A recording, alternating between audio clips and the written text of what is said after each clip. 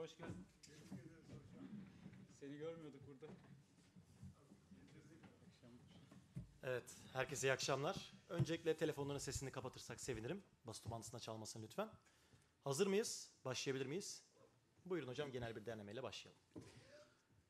Son haftalardaki gibi aslında e, özellikle iç saha maçlarında rakiplerimizin e, savunma yönünü daha ön plana koyduğu oyunlar bekliyoruz. Bugün de beklentimiz bu şekildeydi.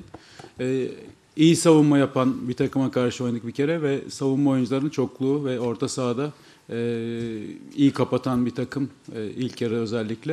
E, rakibimiz e, baskılar yapmaya çalıştı. Kendi ikinci bölgesinde bekledi. Zaman zaman kendi yarı sahasında bekledi. Genel olarak baktığımızda e, üretkenliğimiz önceki maçlara göre daha azdı. Ama e, bugün yine neredeyse hiç pozisyon vermedik rakibimize karşı. Ve net bir skorla maçı kazandık. E, zorlu haftalar. Son 3 maça baktığımızda e, rakiplerimize çok az pozisyon veriyoruz. Gol beklentileri çok düşük maçlar geçiyor rakiplerimizin. Bu da bizim konsantrasyonumuzu, isteğimizi, e, takım savunmasını doğru bir şekilde yaptığımızı net bir şekilde ortaya koyuyor. Bugün e, demin söylediğim gibi e, daha üretken olabilirdik. Belki e, bizim özellikle hücum aksiyonlarımız önceki maçlara göre e, daha azdı. Ama maçın belli bir yerinden sonra da e, maçı kendi isteğimizle, tempomuzla tuttuk. E, kazandığımız 2-0 net bir skorla kazandığımız bir karşılaşma oldu. Ben Sivas Spor'a da e, oynayacakları kupa maçında ve e, ligde başarılar diliyorum.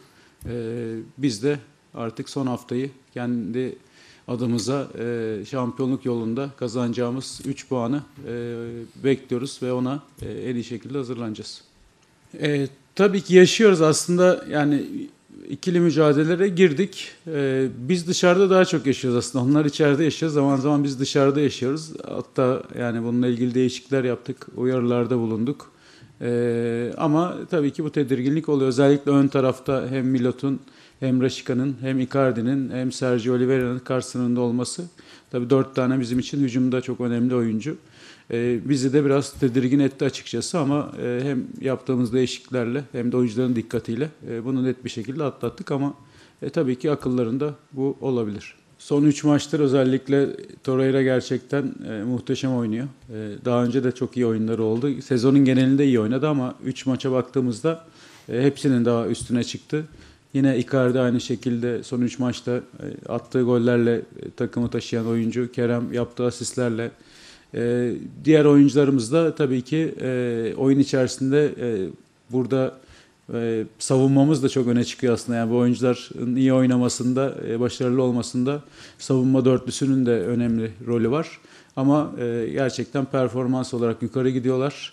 Ve zaman zaman bu takımın başarısı için ben demin e, yayıncı kuruluşta da söyledim. Yani bu sene zor bir sene oldu aslında bizim için. Yani çok fazla lig durdu, aralar oldu, maç oynamadık. E, şimdi bu dönemde tabii ki seçimden dolayı işte bir 10 günlük bir oynamama, tekrar iki maç. Şimdi tekrar 8-10 gün oynamayacağız, tekrar bir maç. Yani inanılmaz bölünen bir sezon oldu. Burada oyuncuların aynı performansları tutmaları da çok zor. Zaman zaman bazı oyuncuların yük- yükseliyor, bazı oyuncuların düşüşe girdiği yerler de oluyor. Ama artık e, son maçımız, şampiyonluk maçında son maçımız. Tabii ki iki maçımız kaldı. Ama Ankara'da kazandığımız takdirde e, şampiyonluğu ilan edeceğiz. Orada bütün oyuncularımızdan e, en yüksek performanslarını bekliyoruz. Bence yani benim sorum da önemli aslında. Yani önümüzdeki sene aynı hakemler mi olacak? Yani bu ligi aynı hakemler mi yönetecek yoksa değişecek mi? Bu da tabii ki teknik adamlar için e, bir soru. Şunu söyleyeceğim. Birincisi tabii ki bir maçımız kaldı şampiyonluğa ulaşmak için. Onun hedefindeyiz. E, ilk planımız şampiyon olmak. İkincisi önümüzdeki sene içinde e, tabii ki e, kadromuzu e, koruyabilmek, onun üzerine olumlu transferler yapmak, e, lige bu anlamda e, yine aynı şekilde başlamak. İnşallah e, Avrupa'ya gidersek orada da en iyi şekilde yolumuza devam etmek istiyoruz. Ee, onun dışında tabii ki sağ kenarında e, bütün dünyada tepkiler var. Yani e, sadece ben de değil dünyanın en büyük oyuncu hocaları da yani geçen hafta işte Guardiola'yı seyrettiniz, Ancelotti'yi seyrettiniz. Herkes aynı tepkileri verebiliyor.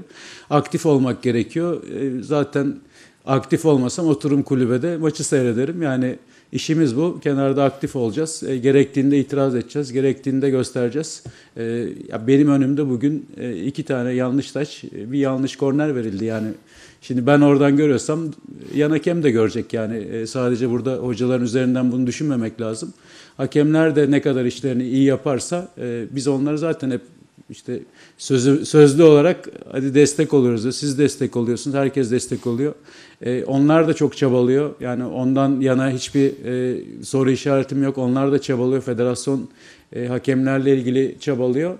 Ama e, tabii ki kararlar verilecek. Yani e, şimdi ben hafta içi antrenmanlarda hakem olurum bir yandan. Yani tabii işte 6'ya 6, 7'ye 7, 8'e 8, 10'a 10 maç yaptığımızda e, hakem biz oluyoruz. Bize de aynı şeyleri yapıyorlar oyuncular.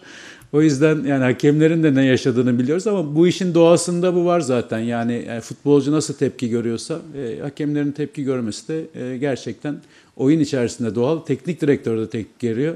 Gerektiğinde siz de tepki görüyorsunuz. Yani yani bu olacak yani futbol bir eleştiri yani saha kenarında eleştirmemiz kadar e, çıkıp buraya eleştirmek kadar e, doğal bir şey yok. Bu zaten e, insan haklarına e, aykırı olur. Yani eleştiremiyorsak, demokratik bir ortamda değilsek zaten bu insan haklarına aykırı olur.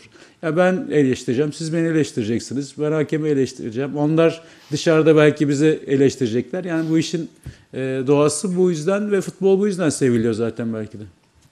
Şu var tabii ki yani hep böyle hafta hafta maçlarımızı kazanalım ve şampiyonluğa yürüyelim diye düşündük. Yani bu Başakşehir maçıyla özellikle Beşiktaş maçı sonrası başladığımız Başakşehir maçı, arkasından İstanbul Spor maçı, Sivas Spor maçı hep maç maç gittik. Şimdi e, Ankara gücü maçı yine kazanıp e, işi bitirmek istiyoruz aslında. Yani ondan başka düşüncemiz, hesabımız, başka bir şeyimiz yok. Ama e, avantajımız var. 5 puan avantajımız var. E, ikili avarajda e, arkamızdaki e, Fenerbahçe e, takımıyla yine avantajımız var. Bunlar elimizde olan avantajlar ama bizim tek düşüncemiz kazanıp şampiyon olmak ama sonuçta iyi bir takıma karşı oynayacağız. Ankara deplasmanı gerçekten çok zor bir deplasman.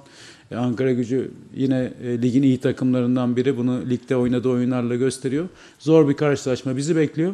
Ama kazanmak için sahaya çıkacağız. Onun dışında başka hesabımız yok.